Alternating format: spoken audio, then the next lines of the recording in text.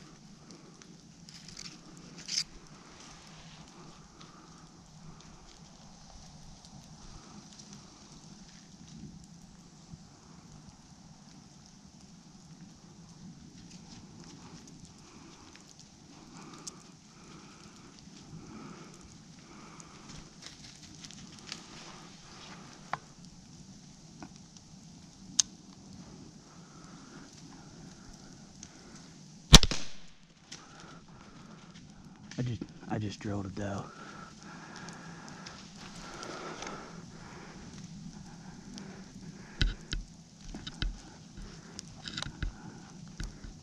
Not yet.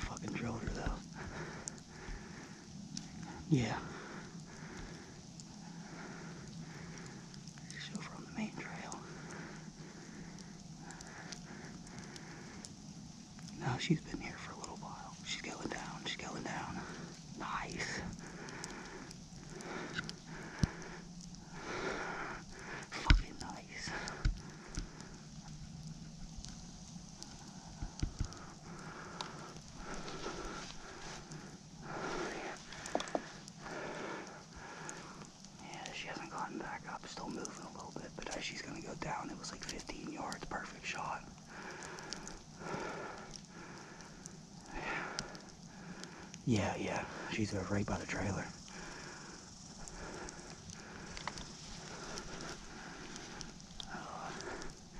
You know, a lot of people wouldn't recommend doing this in the middle of the rut.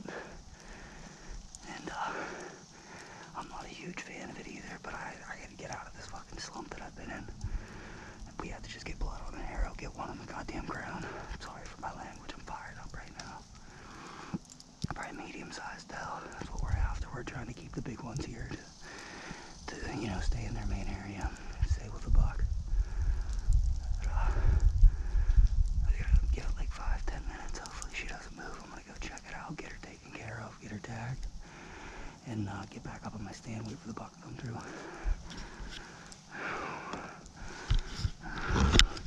Knock on wood. uh, yeah. The, the deer's laying over there waiting for me. It's, but I'm not, nothing's in zone until I got the camera right beside her. But I'll check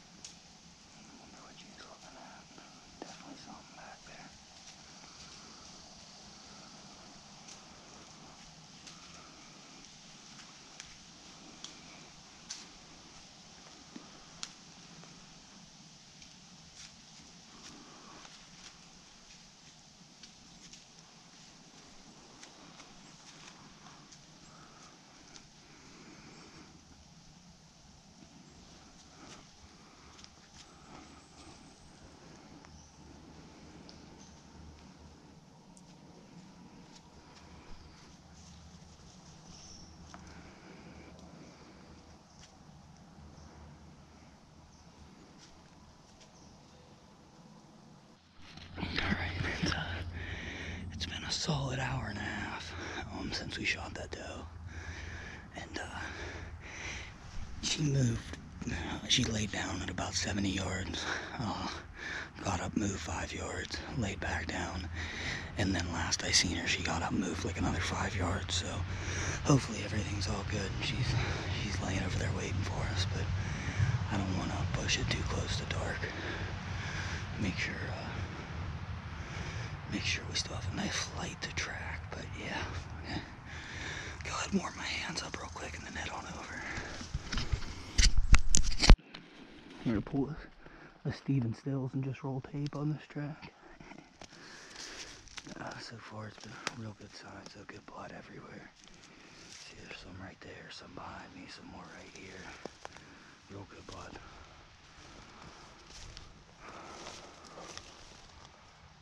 Have to be careful, make sure we don't want to bump her if she is still alive, but I'm pretty sure she's not. See, there might be a deer standing right there. No, no, just a stump. Just a stump.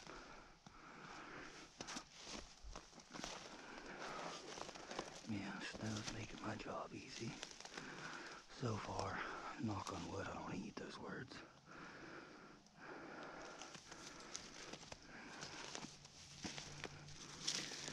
Of all the deer I've tracked in the past two years, though, this has been the most promising.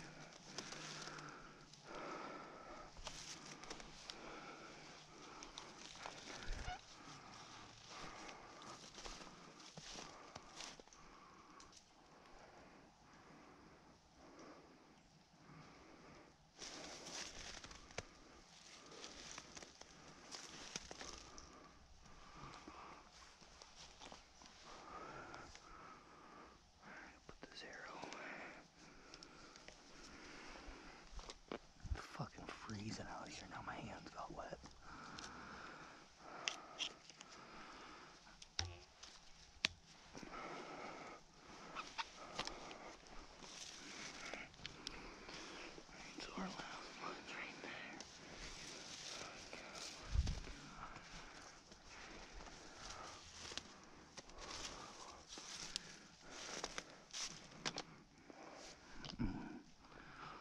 So, so far I got real good blood.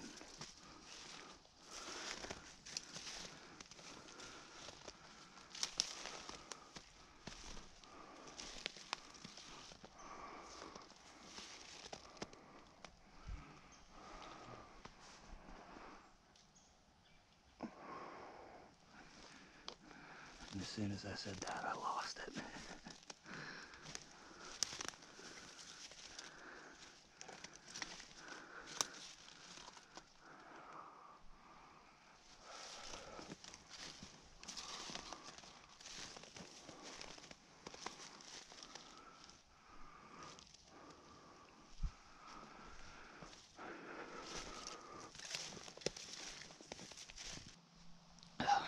Just crossed uh, the main one of the main quad trails where she last laid down probably about i don't know 70 yards from the stand and there she is.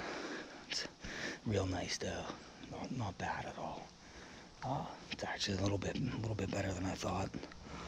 It's gonna be some real good back straps coming off this one. Oh but yeah good shot. Decent shot not bad. Uh, curious to see where the exit have went, just off the way she was acting. Just curious to know. nice. And there's the truck right there. Truck's probably equally as far as the deer ran from my tree stand. She can't beat that. But most importantly for me, like this deer is coming out of, or me coming out of like a two-year slump of, of shit shots and just bad luck. Bad luck but it's all behind us now. And uh, I, oh man, we're never going back. It's just just an awful past couple years, uh, past year and a half, say. But it's all behind us now. That's all that matters. But I got my hands full at the moment. I need to write a tag up, get her tagged. And then I don't know. Uh, hopefully, I, I might still have enough time to just jump back up in the tree stand for the last uh, half hour or so. But I'm gonna go ahead and get this deer taken care of and out to the camper and be good to go.